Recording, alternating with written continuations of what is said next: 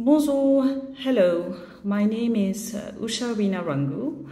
I'm from Mauritius and I currently live in Boston in the United States. The title of my short story is Dite, which means tea in Creole Mauricien, in Mauritian Creole, my native language. Uh, my story Dite is structured around the memories of a diasporic Mauritian woman. Um, each memory is about the important women in her family. So, her mother, her lover, and her grandmother. Um, and each uh, memory is tied to a specific tea in her collection, thus, the title of the story, Dite. On the one hand, the story speaks to her love of tea.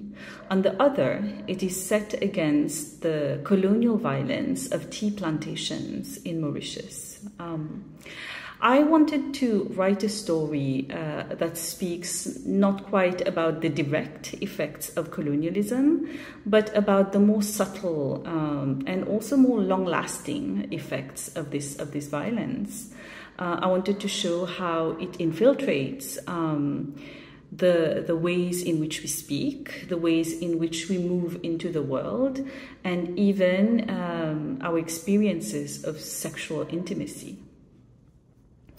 Um, I am one of those writers who believe that fiction is not just about writing a story, Fiction is about writing truth. Um, it's about um, speaking truth to power. It's about envisioning a different kind of world. Um, it is a sort of social activism, if you will, um, around which to build community. And I submitted my short story to the Commonwealth uh, Short Story Prize precisely for this reason. Um, there's a certain community that has formed around this prize in the last 10 years.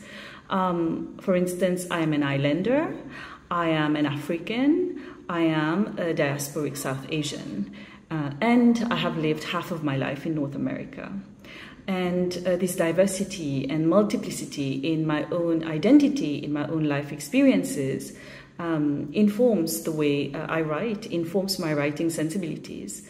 And I wanted to find a home that understands this diversity, a home where this diversity is not just a, a, um, a token or an exception, but is the norm. And I believe that um, the, the judges, the writers, the readers of the Commonwealth Short Story Prize um, are at home.